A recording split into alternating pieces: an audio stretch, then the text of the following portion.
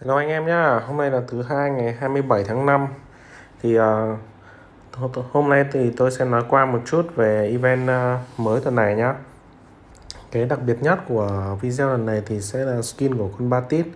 Thì uh, về event tuần này thì uh, vẫn chưa xong cái event cũ gồm hai con tường mới là đỏ và xanh lam. Thì hai con này khá là mạnh ở trong uh, tôi thấy là team thủ khá là ok đấy. Anh em có thể test thử nhé còn ờ, nhiệm vụ thì ờ, cũng còn khoảng hơn 3 ngày nữa là cũng xong rồi. Tôi cũng hoàn thành một số nhiệm vụ dễ rồi, ví dụ như red kiếm gold này, gold thì cũng gần xong rồi. Tiêu game thì cũng gần gần xong rồi. Anh em có thể ờ, lựa chọn mua một số hòm. Ví dụ anh em nào mà muốn lên mắc con này thì có thể mua hòm tay chân. Ở trong này áp thì kiếm ở trong này. Mấy cái đồ như kiểu con rối này thì không cần mua một số hòm này thì có thể mua để lấy dây cho nó. Dây con này thì ở team công có cơ hội uh, thả một cái quả bom ấy giống như cái uh, dây chuyền bom ấy. Tuy nhiên là con này uh, có stun trong hai vòng nữa. Vậy thôi. Còn uh, nói chung mà tôi thấy cũng bình thường không phải khỏe lắm. Cái dây anh em có thể dùng một cái dây khác ví dụ dây mana cũng được. Có thể team thủ có một đặc biệt là ví dụ như là anh em búp uh, team có Jinho hoặc là Rocking mà khi à, đồng đội mắc mana thì con này sẽ lập tức stun luôn. Khá là khỏe. Còn con xanh lam thì thấy một số anh em có dispel skill thì tôi vẫn chưa hình dung ra là tại sao con này có dispel skill được. Giống như một cái con à, tím nó gọi đệ ra cũng dispel hai đồng minh ấy. Để tôi xem lại một chút nữa. Đây à, dây thôi ừ. skill con này đọc thì không thấy dispel nữa nhưng mà tôi thấy anh em có hình ảnh dispel con xanh lam thì tôi cũng hơi thắc mắc. Con này gây đam theo cái rule. Ừ. khi mà 10 hoặc là 10, 10 năng lượng trở lên thì sẽ vào cái wishpool uh, ờ, block enemy gain mana. Không tăng mana này.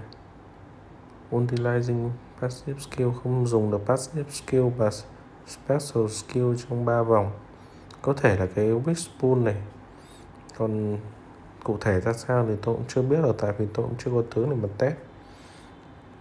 Thì khi nào có tướng test thì tôi sẽ ờ, hỏi anh em. Ở đây một số đồ tôi mua, ví dụ như cái hòm này giả áp này, với cả một số đồ tài nguyên ở đây thì rất cần à, tiếp theo là cái slot machine này thì cái này cơ hội quay thì nó khoảng 0,4% giống như con cell hoặc là con ờ, skin của Batit trong một ừ, trong vài bản update sắp tới. Ở đây có một số đồ thì ờ, ngon nhất vẫn là ra mấy cái đồ ba ví dụ như ba cái đao này thì được 30 coin này hoặc là ba quả bom này thì được cái spy glass để mình quay cái subscribe box ở đây thì sẽ có bốn hô và anh em ờ, đi liên tục. Nếu mà vào cái quả bom này thì mình sẽ phải mất cái ờ, cái kính ngắm này. Đấy cái này khá là khoai tại vì nó sẽ tăng dần mốc lên. Ví dụ như ở bàn trước tôi đi từ năm 10 hai lần hồi sinh là qua rồi. Tuy nhiên là lần tới cũng không biết là mấy lần mới qua được. Tiếp theo là event của Red Queen thì ờ, cái này quay ở trong Portal anh em nhé.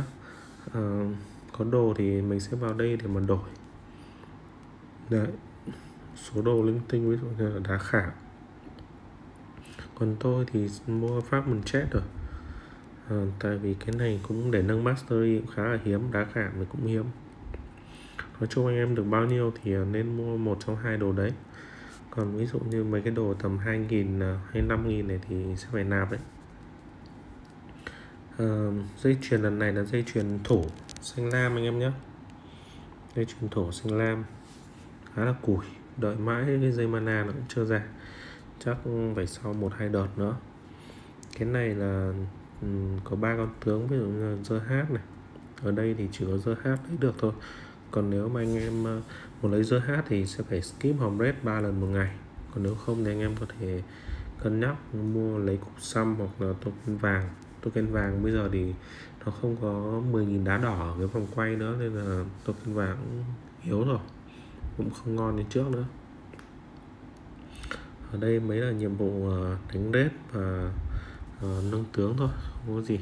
Chắc đợi mấy hôm nữa event mũ và uh, event uh, uh, token thì anh em sẽ hoàn thành thôi còn ờ, nói qua về skin của Batit thì nó sẽ tăng công thủ lên khoảng 3 đến 400 và cái skill đặc biệt của nó là uh, ở team công và team thủ nhá thì uh, hai đồng minh có sức tấn công cao nhất sẽ được thêm 50% cái hút máu. Anh em có thể tưởng tượng là một con tướng đã mạnh rồi ví dụ như Cell hoặc là gấu mà có thêm 50% hút máu thì nó sẽ kinh khủng như nào. Đấy là cảm nhận chung của tôi. Thì skin của Batit này khá là imba có thể uh, thay đổi một cái meta mới. Chưa biết chừng rằng sau này có một số con ví dụ như là Scarlet hay là gấu và sẻng skin của nó sẽ còn khỏe hơn. Thì anh em có thể đợi trong thời gian tới. Tuy nhiên là cái skin ba tiết này sẽ giúp cho anh em à, free hoặc nạp ít và có được cái skin đội hình nó sẽ rất là khỏe. Đấy là tổng quan à, những cái event tuần mới anh em ờ, có câu hỏi gì thì cứ comment phía dưới video thôi nhé xin chào.